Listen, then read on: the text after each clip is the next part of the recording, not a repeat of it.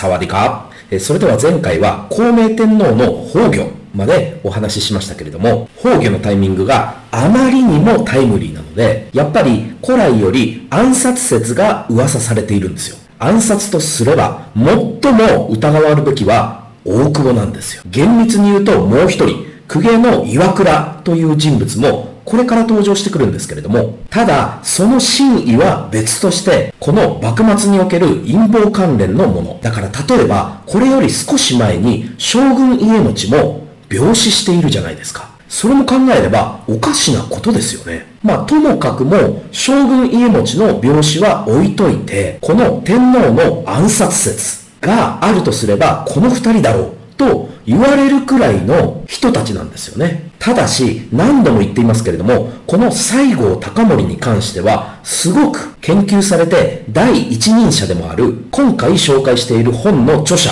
海音寺さんが言うには、天皇のご病状については、ずっと詳しく記録に残っているみたいなんですよ。それを見る限りでは、到底不信を入れるべき隙がないのである、ということを言われているんですよ。天なるかな？命なるかな？というより他はない。はい。それではついに1867年の年が明けます。さて、この頃にもなると、朝廷の内部の形勢に変化が見え始めてくるんですよ。少し前に慶喜の将軍宣言があったじゃないですか。あのタイミングで幕府寄りの思想を持った人たちが復職させられたりしていたんですよ。それだけじゃなくて反幕勢力の人たちは直感を被ったりとか厳しい監視をつけられたりとか結構人事異動もあったんですよ。その上、孔明天皇の崩御じゃないですか。だから一言で言えばこのタイミングで朝廷内はだいぶ幕府寄り。だから砂漠派の人たちが勢いを増してきてるようになっちゃうんです。これはつまり、薩摩としてはだいぶやりにくくなっちゃうんですよ。はい。ここで私は岩倉智美という人物についてお話ししなければなりません。実はですね、この岩倉という人は、この幕末のストーリーではとっくに登場していたんですけれども、いよいよこの岩倉という人が動き出して、もう無視できない存在になっていくんですよ。この岩倉智美という人は公家です。その個性的な顔面は異形と言われている人です。また、幼い頃より容姿や言動に公家らしさがなく、異彩を放っていたため、岩吉と呼ばれていたみたいなんですよ。それが本当なら、その性格は大人になっても変わることがなく、およそ他の公家とは違って、肝が座ってるんですよ。この岩倉と大久保が出会うんですよ。で、この岩倉という人は、公家の中では身分が低い方なんですけれども、この時期より5年前、だから1862年に、いろいろと政治問題に口を出して、孔明天皇より新幕派、と疑われて、朝廷から追い出されてしまうんですよ。厳密に言うと、時間と出家を命ぜられて、岩倉は素直にそれに従い、朝廷を去ることになるんですよ。で、当時の京都は、尊王攘夷派が全盛だった頃ですから、この岩倉も命を狙われることになって、転々とするんですよね。で、そのうちに京都の郊外にある岩倉村というところでずっと幽閉されているんですよ。まあ、この岩倉がいたところは今でも残っているので、興味がある方は見に行くのも面白いかと思います。ともかく、この岩倉を大久保が訪ねに行くんですよ。でね、すべてがそうじゃないんですけれども、わかりやすく言うとですよ、陰謀というものがあるじゃないですか。これをやらせたら、この大久保と岩倉のタッグは最強なんですよ。これは到底、まあ、性格上なんですけれども、西郷が全然及ばないところですね。及ばないというか、性格的に合わないんですよ。西郷という人は。この人は何よりも道義を重んじる人ですから。で、一方、大久保という人は一番最初の方でも言いましたよね。この人は石からでも水を絞り取るような人で、その目的達成のためには手段を選ばないような人なんですよ。とにかく、この二人が出会ってしまった以上、幕府の運命はいよいよ終焉を迎えることになっていくんですよ。はい、ここでもう一人人物を紹介しなければいけないんですけれども、それが三条実富。この人も実はすでにこの物語に登場してるんですよ。あの金門の変で都落ちした五教っているじゃないですか。まあ本当は七教落ちと言って、初めは7人いたんですけれども、途中で亡くなってしまって、それからずっと5人になったんですよ。だから5教っていう風に話には出てきたんですけれども、その5教の中でもリーダー格の人ですよね。だからずっと長州系の公家として存在していた人なんですよ。で、さっきも言った岩倉には大久保が接近しているじゃないですか。この三条実富には特に土佐系の人たちが護衛してついて回ってるんですよ。で、ここでまた出てくるのがあの中岡慎太郎ですよ。この中岡と大久保らが話し合って、この岩倉と三条を手を結ばせようということになるんですよ。これには三条の方が、あないな大乾物とか、というふうに言ったらしいんですけれども、ともかくも以前は朝廷の中で性的だったこの二人。三条の方は最もラジカルな純情派。こっちの岩倉は煮ても焼いても食えない。海線山線の剣謀十数家。これまでは旧敵のように憎み合っていた二人が、ここで手を結ぶようになるんですよ。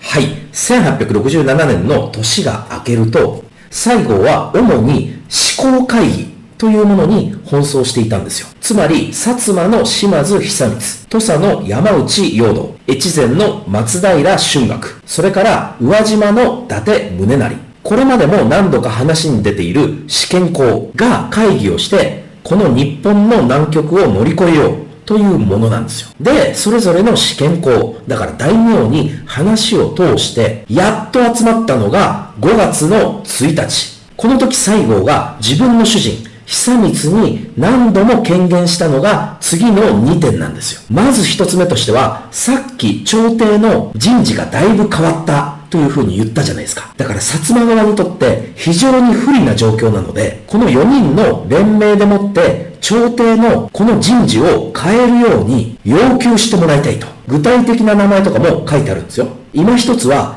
徴収問題ですよ。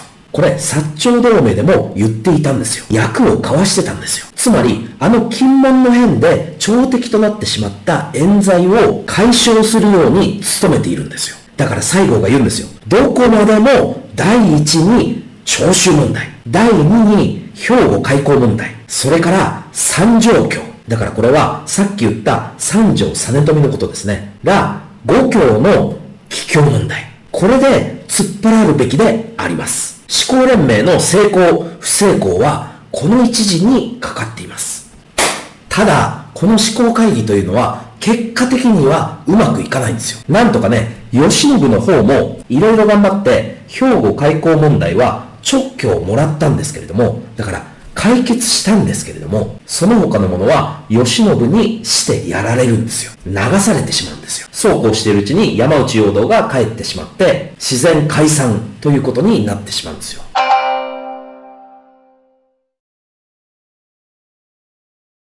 はい、1867年も5月、あの思考会議もダメだった。となると、もうそろそろ武力倒幕しか道はないんじゃないか、ということになっていくんですよ。だからもう今までになかったくらいの倒幕の機運が高まっていくんですね。そして具体的な倒幕計画に入っていくんですよ。そこで5月21日、サット同盟。これはつまり、薩摩と土佐の武力倒幕を目的とした密約ですね。これは倒幕のためには千の一時あるのみと言っていた中岡慎太郎が土佐川ではリードしてやったものなんですよ。はい。その4日後の5月25日、薩摩の島津久光が武力倒幕を承認。これがすごいのは、薩摩はあまり言われないんですけれども、やっぱり藩内にお家大事派と日本大事派がいるんですよ。だからつまり、お家大事派というのは自然砂漠派なんですよね。何かことを起こして失敗したら処罰を受けて、下手したらお家断絶になるかもしれないんですよ。この薩摩の島津家というファミリーは鎌倉時代から700年以上も続いている名家なんですよ。だから当然、侍、まあ、武家というのは、こうしたお家大事派がどこの藩にもいるものなんですよ。その中で久光がもう薩摩の方針としてその武力倒幕で行くっていうことを決心したことはやっぱりすごいことなんですよ。1867年6月22日、ここでもう一つサット同盟が結ばれるんですよ。これは一言で言うと、あの坂本龍馬の大政奉還を元としたこの薩摩と土佐の盟約なんですね。まあこれは盟約として色々とあるんですけれども、要するに次の要点のことです。日本国の組織を正して、王政を古に服し、幕府を廃し、徳川家は諸行の列に下ろすことにしよう。諸藩の制度は世界各国のものを参酌して定めよう。王政復古の上は上院、下院を置き、制度、法律、一切の政務を討議するところとしよう。外交は改めて朝廷の手によって新条約を定めよう。広告幸福の議事に関する死体譜は、私欲を去り、最も公平にして10作を浪しないことにしよう。これは要するに同じ倒幕でも武力によって倒すのではなく平和裏に幕府を倒すということなんですよ。まあこの平和方式のやり方にどこまで西郷が乗り気だったのかはよく分かってないんですよ。いろんな研究家の人たちがいろんな意見を言ってるんですけれども、ちなみにこの海音寺さんは随分と熱心だったように思われる。というふうに書いてるんですね。いずれにしても、西郷をはじめとする薩摩の人たちはみんな、たとえ大政奉還という案を憲白したとしても、あの慶喜が自らその政権を朝廷に返すなんてことは、とてもじゃないけど、考えられなかったんですよ。それが当時の封建社会のいわゆる常識だったんですよ。だって、古今東西、時の権力者が自らその権力を投げ打ったことがありますか？ということなんですよ。いや、小さい規模だったら、それはあるかもしれないですよ。いわゆる無血革命ですよ。そういったものは、いや、あるんですけれども、小さい規模のものはですよ。この江戸幕府に至っては、250年以上続いてるんですよ。厳密に言うと、1603年からこの江戸幕府は始まって、この1867年の時点では、すでに264年間続いている政権なんですよ。権力なんですよ。それを投げ打つとは、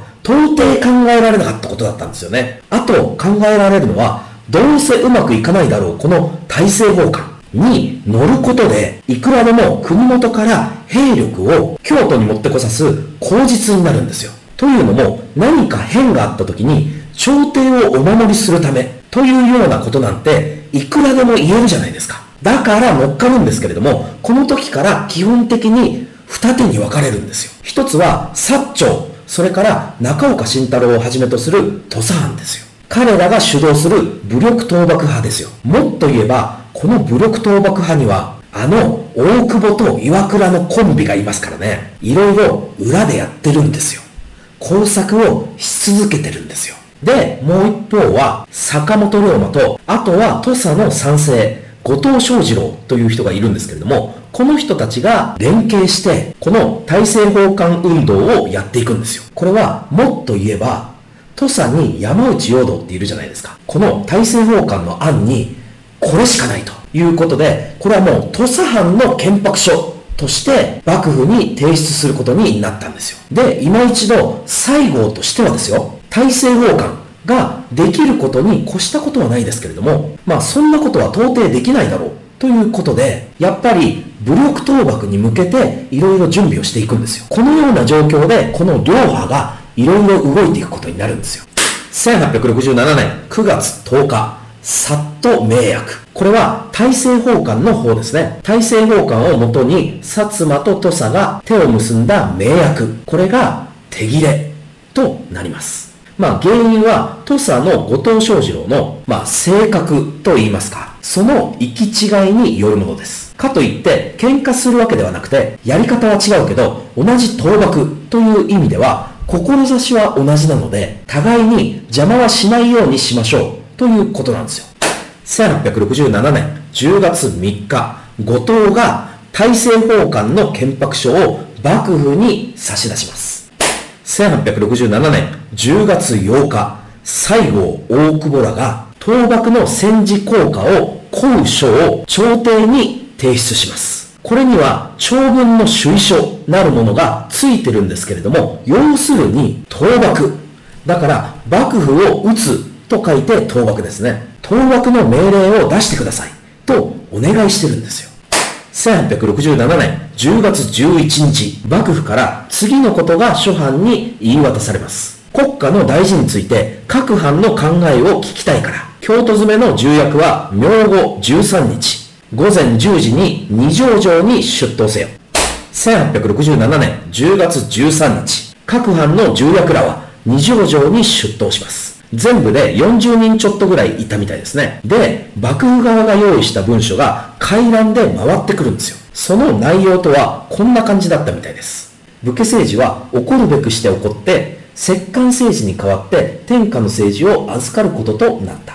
我が徳川氏が政権の座にあるようになって200年、子孫愛受け、自分に至ったが、政権的を失うことを少なからず、今日の形成となった。つまりは白徳の致すところと残機に耐えない。言わんや、今日は外国との交際、日に盛んとなってきて、これまでの政態では不適当となってきた。どうしても政権は朝廷に一本化されなければ決まりが立たないから自分は吸収を改めて政権を朝廷に返上し広く天下の講義を尽くし天皇のご指揮のもとに同心協力共に広告を保護することにしたいそうすれば広告も海外の万国と並び立つことができると思う去りながら考えがあるなら少しも意味はばかるところなく申し聞かせよということで、慶喜は大政奉還をすることに決心し、それを公表したんですよ。はい。それでは、その翌日の10月14日、幕府が朝廷に大政奉還の総問をします。というのも、幕府が政権を返上しますよ、と言ったところで、朝廷がそれを受け入れなければ、大政奉還はならないんですよ。ましてや、もう何百年も政治をしたことがない人たちなんですよ。その当時の朝廷というのは、いきなり政権を返されても困っちゃうんですよ。どうやってやったらいいかがわかんないんですよ。それを果たして受け取るかどうかということもあったんですよ。そんな中、この同じ10月14日ですよ、薩摩に倒幕の密直が下るんですよ。これはまさしくあの大久保と岩倉のタッグがやったことなんですよ。うまく倒幕の直をもらうことができたんですよ。これで公式に幕府を撃てることになったんですよ。1867年10月15日。だからその翌日、朝廷が大政奉還を受理することになります。このことによって幕府はなんとかこの1日前の密直による武力倒幕を避けることができたんですよ。だからもうギリギリだったんですよ。なんとか逃げられたんですよ。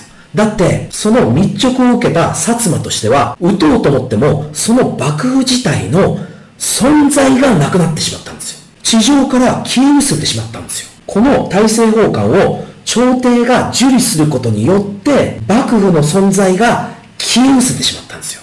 だから、この10月、前半の10月だけでこれだけのことがあったんで、もうこれ映画化できるんじゃないかっていうくらいのストーリーなんですよ。夢